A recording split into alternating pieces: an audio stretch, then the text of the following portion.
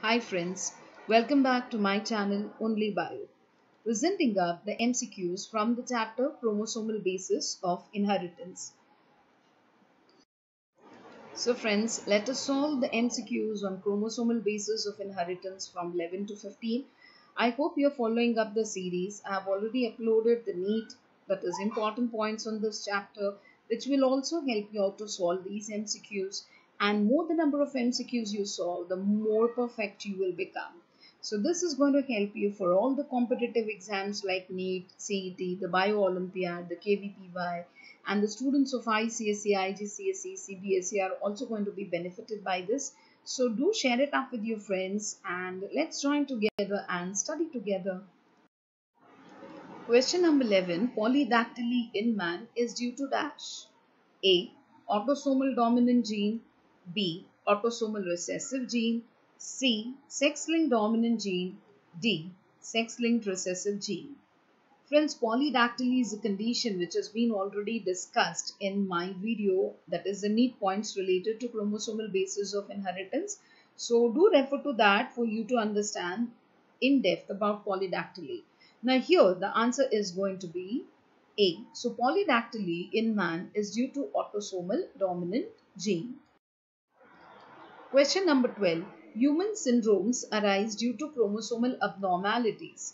Which one of the following is a resultant of monosomic condition? A. Klinefelter syndrome. B. Turner syndrome. C. Down syndrome. D. Edwards syndrome. And the correct answer for this question is B. Turner's syndrome. Question number 13. In humans, the chromosomal condition of male is dash. A. 44A that is autosomes plus XO. B. 44AA plus XX. C. 44AA plus XY. D. 44AA plus XXY.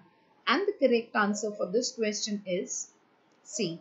44 autosomes plus XY. Question number 14. Alkaptonuria is caused due to dash. A.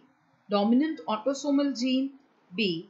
Recessive autosomal gene. C. X-linked recessive gene. D.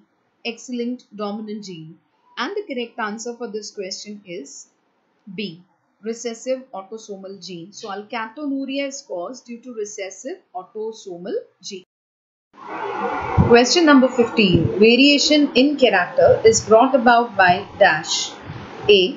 Duplication of chromosomes during mitosis. B. Mutations.